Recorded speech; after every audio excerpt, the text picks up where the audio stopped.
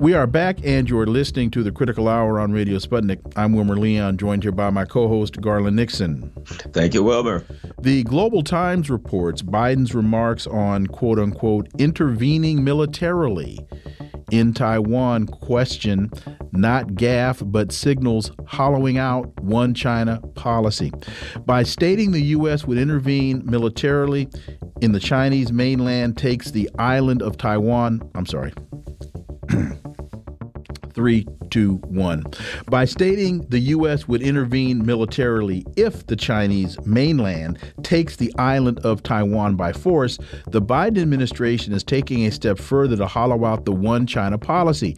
And Biden's remarks led to China's strong opposition. What are we to make of this? Well, for insight, let's turn to our next guest. He holds the John J. and Rebecca Moores Chair of History and African American Studies at the University of Houston. He's one of the most prolific writers of our time. His latest book, his forthcoming book, is entitled The Counter Revolution of 1836 Texas Slavery and Jim Crow and the Roots of U.S. Fascism. Dr. Gerald Horne, as always, sir, welcome back. Thank you for inviting me. So, President Biden was asked if the United States would defend Taiwan militarily if it is attacked by China. Biden said, yes. That's the commitment we made. We agree with the one China policy, but the idea that it can be just taken by force is just not appropriate. It would dislocate the entire region and be another action similar to what happened in Ukraine. And so it's a burden that's even stronger. There are, to me, Dr. Horne, a number of problems with that statement. It's incredibly incoherent, I think. It's inconsistent and it's historically inaccurate. China has never said they're going to invade Taiwan. How can you say you agree with the one China policy, then you say we're going to invade China if they invade Taiwan? And when you compare this to the Ukraine, the United States fomented the Ukraine problem, to be kind. So he's throwing in a lot of stuff in the soup that doesn't make sense. Dr. Horne? Well, I think that Mr. Biden needs to be looked at not necessarily as a gas machine. That is to say that he puts his foot in his mouth, which he certainly does, but I don't see these recent provocative statements as gas.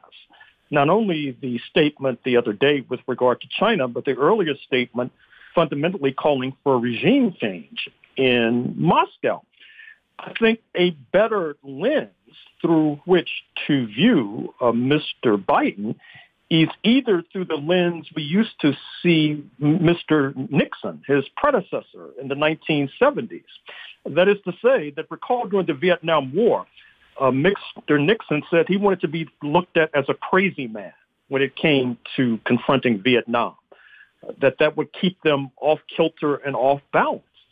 I think that intentionally or not, and I would hate to think that the chief executive of the United States is literally a crazy man. That's too uh, ghoulish to contemplate. So I would prefer to think that he's mimicking Nixon, that he would like to think that uh, he would like U.S. so-called adversaries to think that he's crazy.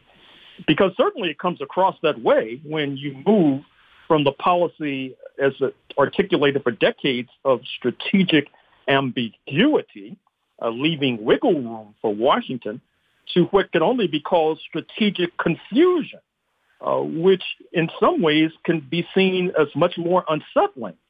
And I take it that Mr. Biden took note of the fact that during his trip to Northeast Asia, uh, Russia and China, rather unusually, had a joint military ex- exercise involving bombers over that uh, same territory, that is to say, in the vicinity. Uh, this was a welcome of sorts, it seems to me, to the Quad meeting that was taking place in Tokyo today, the Quad being United States, Japan, Australia, and India, which is a sort of a neo-Cold War framework uh, targeting uh, Beijing. But Mr. Biden must recognize that the Quad is fraying at the seams the Japanese prime minister did not endorse his uh, strategic confusion with regard to uh, Taiwan or a, a, purported Chinese invasion of Taiwan. Uh, after all, uh, Taiwan sits only 65 miles from a populated Japanese island. And even though Japan is trying to raise its defense budget, I don't think it's in any position as of yet to confront China, uh, even in league with U.S. imperialism. And then you know that this past Saturday you had a change of government in Australia. The hawkish Tory Scott Morrison replaced with the more dovish uh, Al- Anthony Albanese of the Labour Party, who brought along with him to Tokyo uh, his foreign minister, uh, Penny Wong, uh, who happens to be of Chinese ancestry and is much more dovish towards uh, China uh, than her predecessor. And I think it's also fair to say that uh, the Bulletin of Atomic Sciences, which, as you know, for decades now has maintained this clock with a kind of countdown, ghoulishly enough, to nuclear holocaust, uh, with midnight being the witching hour, probably moves the hands a bit closer to the witching hour in light of Mr. Biden's provocative comments. The only benefit that I can see is that, uh, as you know, uh, I, among others, has been complaining that many of our friends on the left uh, who have fundamentally endorsed the NATO position have looked at the Ukraine with a kind of tunnel vision from Washington to Kiev and Moscow, ignoring the global consequences, particularly the consequences now enunciated by Mr. Biden clearly that Ukraine is only stage one and Taiwan is stage two.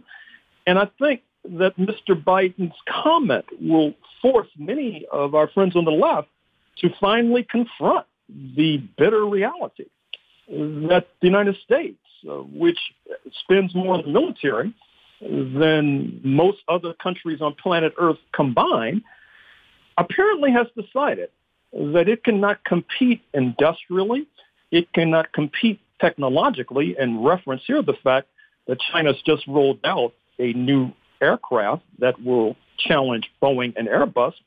And so the United States has to compete militarily or try to triumph militarily, and that is dangerous for all humankind.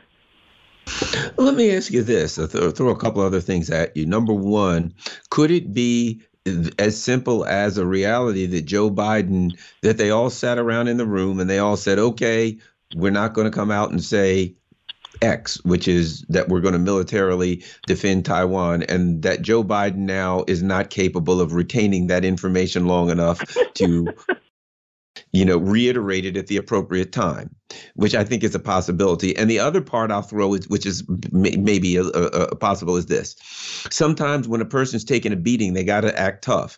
Recently, the Solomon Islands, the U.S., you know, threatened the Solomon Islands. The Solomon Islands said, "Nope, we're not. We're going to have this Chinese base in China."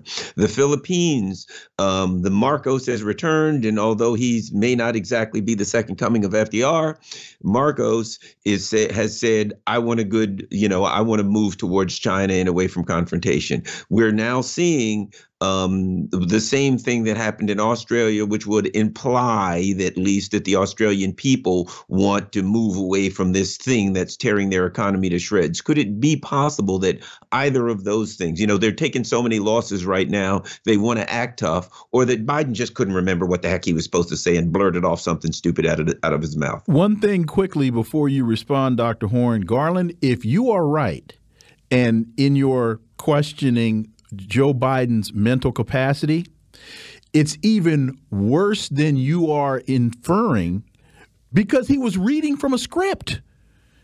It, go ahead, go ahead, Dr. Horne. Well, let, us call that latter point uh, Garland Nixon's corollary on the crazy man thesis. That is to say, uh, our eminent uh, co-host here is suggesting that Mr. Biden literally might be crazy.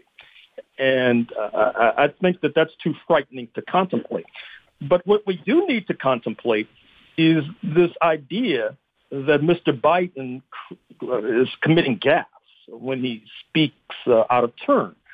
That is to say that I can commit a gaffe when it comes to articulating U.S. foreign policy. You can commit a gaffe, but Mr. Biden is the chief, chief executive officer. He states policy. And no amount, um, amount of spin or kind of cover up by the staff can dilute that reality. Now, with regard to the Philippines, and I, I would point you to the disappointing meeting held by the Association of Southeast Asian Nations, uh, who huddled in Washington at the White House just a few days ago. What's interesting is that there were no bilateral meetings with all of these heads of states and heads of government who showed up in Washington.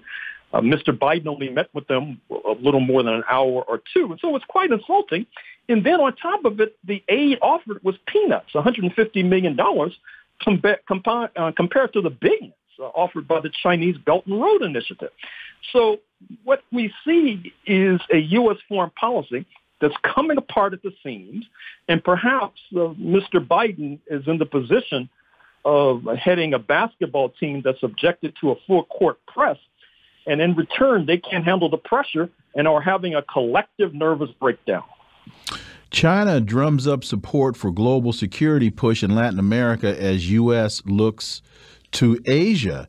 China's foreign minister went on the global offensive in Latin America, promoting his country's proposed global security initiative in the U.S.'s backyard as Washington sought to shore up ties with Asia.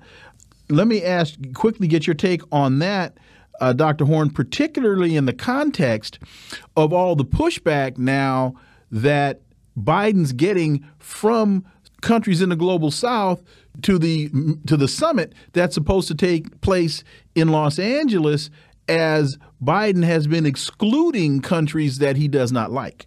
Well, you're right on the money. Obviously, this summit in Los Angeles, organized by Washington, once again is coming apart at the seams. You've seen the baby steps towards Mr. Biden normalizing relationships with Cuba, going back to the Obama policy. You see the half-hearted attempt to lift sanctions against Venezuela, which presumably will drive more oil into the U.S. market. But that's going to get severe pushback from Senator Marco Rubio of Florida, Senator Bob Menendez of New Jersey, a Democrat. And so I'm not sure how far that will go. Uh, once again, it seems that Washington's foreign policy is uh, going nowhere fast.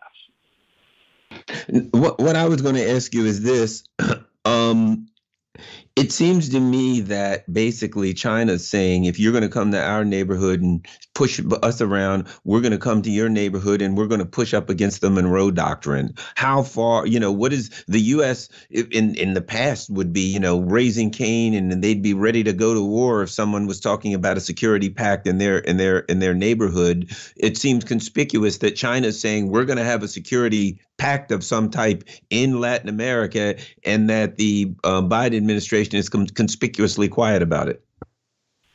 Well, China is not the only headache that U.S. imperialism may be enduring.